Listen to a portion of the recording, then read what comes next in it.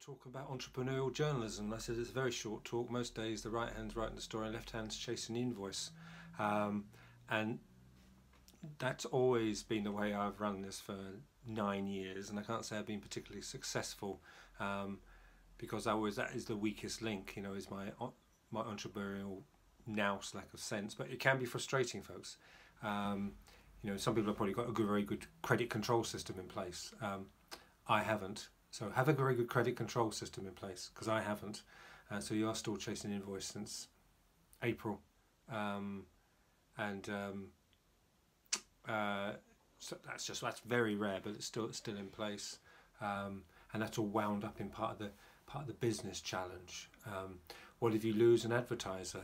You know, it, it's hard if it's because as a journalist you just want to be angry, but that's that's not going to get you the business back.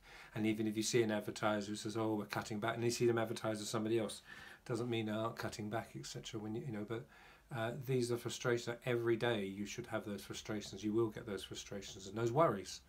Um, uh, with that, I would say in late 2017, a lot of people it can be a, what are the other frustrations? People say they have no money for advertising, they spend loads of money on leaflets, and they don't see leaflets as advertising. You'll get people say they can advertising on Facebook, and you know that because it's Facebook. I think at the moment it's almost like the uh, um, you know the soup of the day, whatever it is. You know that's the fashion. You know they may have you've got ten followers. Oh yeah, but I'm on Facebook.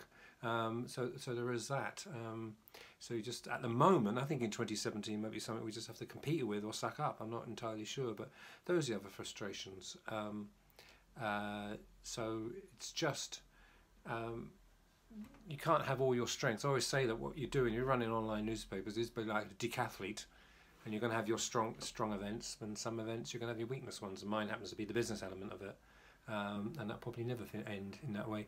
But uh, just I thought I'd chip in with that today.